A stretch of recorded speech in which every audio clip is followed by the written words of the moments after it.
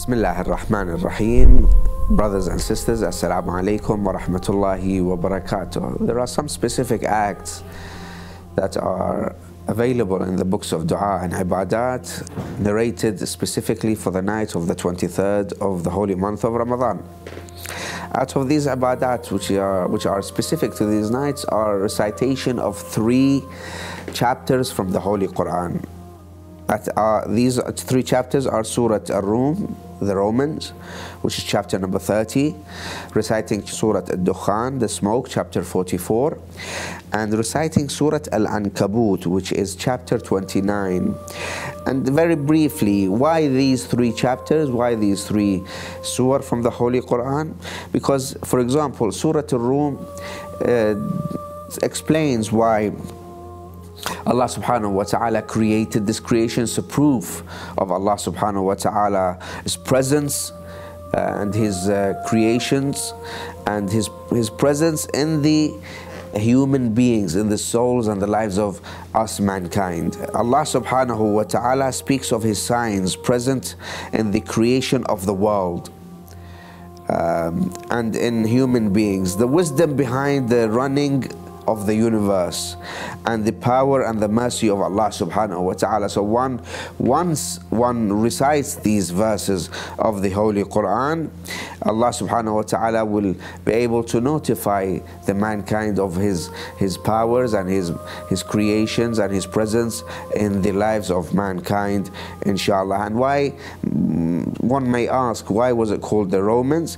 Is because there was a prophecy uh, that the Romans or the Roman Empire at the time was going to um, defeat the the Persian Empire. So the Muslims who were the worshippers of Allah Subhanahu wa Taala were afraid that this uh, this this uh, this empire, who were idol worshippers, who were the Persian Empire, they were going to overpower and defeat the those religions uh, who are worshipping Allah Subhanahu wa Taala. So it is it is uh, well advised for one to recite Surah Ar-Rum.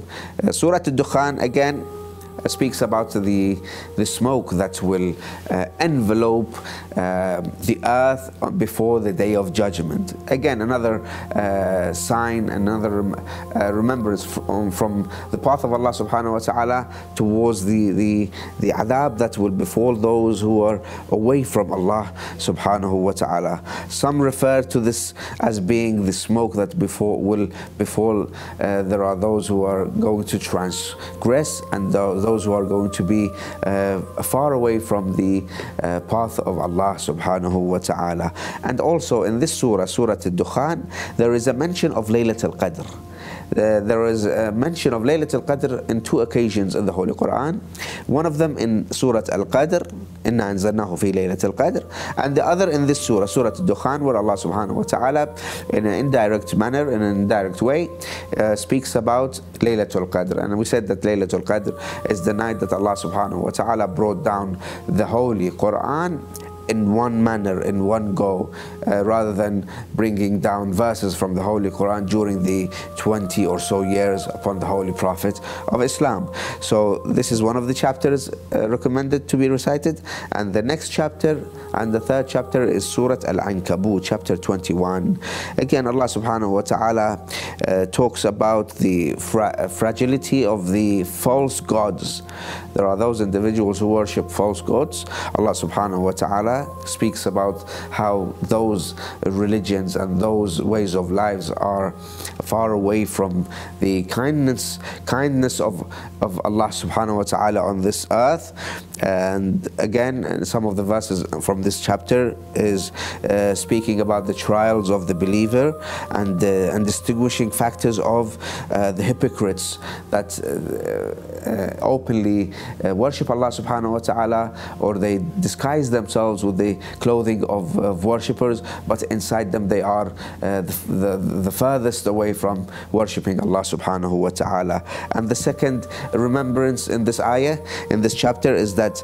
Um, speaks about the trials and tribulations faced by the prophets, previous prophets. Allah subhanahu wa ta'ala gives us examples of how the previous prophets were uh, facing problems in their lives from their uh, people and how Allah subhanahu wa ta'ala advises mankind and wants us as human beings to be ready to face any trials and tribulations and tests and difficulties for the sake of Allah in the path of Allah subhanahu wa ta'ala. And some of the other ad'iyah uh, to be recited on these nights. As I said, Dua Jawshan al-Kabir, Dua Abi Hamza al-Thumali, Dua al-Baha, re repeating the surah Laylatul Qadr, Surah Al Qadr, a hundred times. There are some narrations that say a thousand times. If you are able to repeat recitation of the surah, Surah Inna Anzalnahu fi Laylatul Qadr, a hundred times or a thousand times. There is two rak'ah Salah, as I mentioned in the previous episodes. It's similar to Salat al Subh. You pray specific to this night. Uh, after reciting Surah Al Hamdu, Surah Al Fatiha, you repeat Surah Al Tawheed seven times you finish the prayer and you do tasbihat al-zahra and you engage in repeating astaghfirullah rabbi wa tubu 70 times. And don't forget to conclude all of these supplications these nights with supplication and the dua and the prayer for Imam al-Mahdi Ajjalallahu ta'ala farajahu sharif as he is the one that's going to have the ultimate say and the ultimate signing on our books of A'mal and what will be destined for us in the next coming year. I will pray for you and no, and no doubtedly you will not forget us in your dua. Wassalamu alaikum wa rahmatullahi wa barakatuh.